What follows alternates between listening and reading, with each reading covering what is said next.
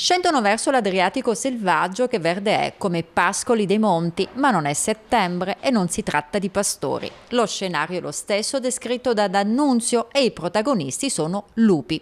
Il video amatoriale dei due esemplari avvistati a Città Sant'Angelo, zona mare, sabato ha fatto il giro del web.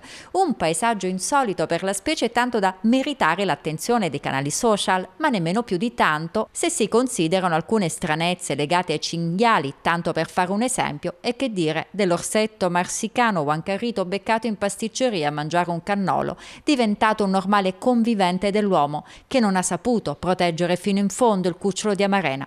Un ecosistema che cambia con i confini sempre meno definiti e che non vede più l'uomo e i centri urbani così distanti. Attualmente eh, possiamo dire che siamo eh, probabilmente a 4.000 o 5.000 lupi in tutta Italia e quindi questi lupi sono, hanno colonizzato nuovi territori fino ad arrivare alla costa. E in questo modo si stanno avvicinando anche alle città.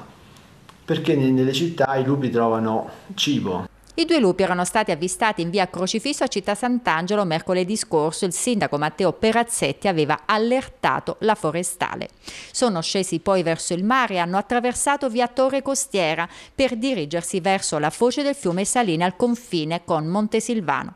Una bella passeggiata tra piste ciclabili e case con una meta presa di mira anche da un gruppo di cinghiali qualche settimana fa. Lecito chiedersi come comportarsi in caso di incontri ravvicinati. Bisogna imparare a convivere con questo predatore evitando alcuni comportamenti che sono quelli di abbandonare i rifiuti al di fuori dei cassonetti, tenere i cani al guinzaglio, tenere questi animali domestici in casa, cani e gatti in casa durante, soprattutto durante la notte o in recinti antilupo. Per gli allevatori è necessario usare reti elettrificate, cani da guardiania come il, pastore, il mm, cane pastore abruzzese e poi ecco, nel caso di avvistamenti di lupi, se avvistiamo un lupo a 50 metri, a più di 50 metri, non c'è alcun problema. Se invece il lupo mostra un interesse e si avvicina a meno di 20 metri, in quel caso bisogna cercare di spaventare l'animale. L'animale va spaventato urlando e alzando le braccia perché deve capire il lupo che eh, deve mantenere una distanza di sicurezza.